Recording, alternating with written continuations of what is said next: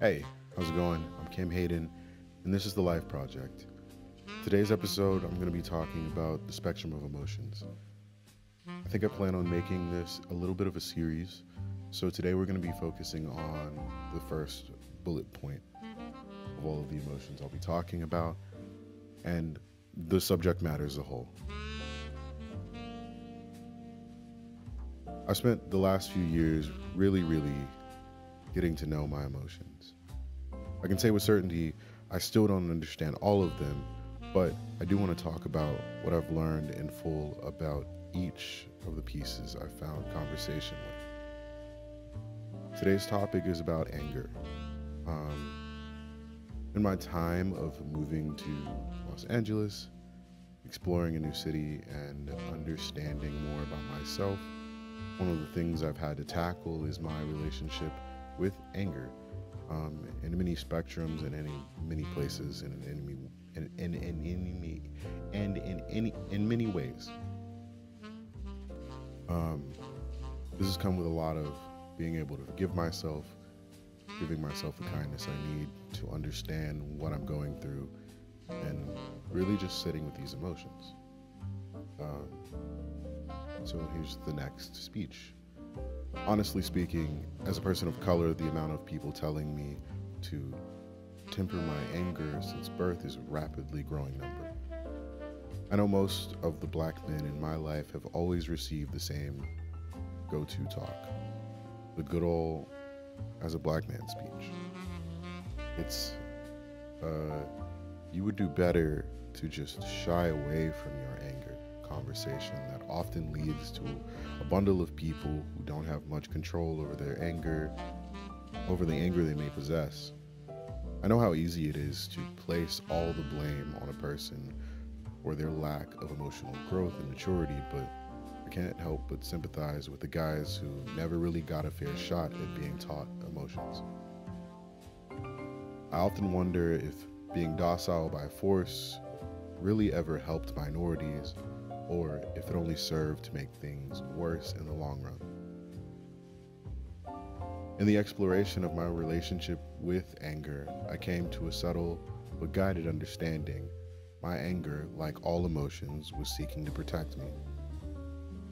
Protect me from mistakes I'd make, from people who knew not to waste, some, from people who I knew not to waste time on, and most importantly, protect me from perception and how anyone outside of me might attempt to define me.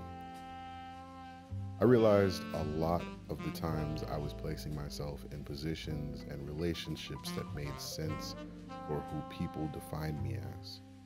The results of this was a silent build. The results of this was a silent building coat of dissatisfaction and a larger layer of imposter syndrome. Like, imagine growing at a rapid rate for a talent you kept close to yourself because you feared how the world was, would receive it, only to realize it was something that could greatly help people. Um, in my overarching relationship, learning more about my anger, I have learned that just like any other emotion, the overarching goal is just to protect the you that you are. The the you that isn't defined by outside sources, the you that isn't pushed to be you because of your upbringing. It is a representation of defense for truest you. I've really come to appreciate what my anger does for me. Not in a sense that I love to unleash anger on people who don't deserve it, or yell and uh, boast, or brag, or anything of that sort.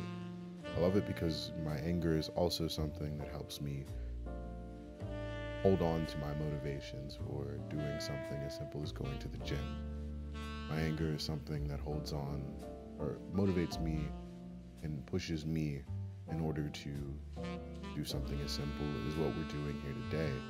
Me talking to you, telling you more about the emotional spectrum so that I can turn all of this into something more than what it is.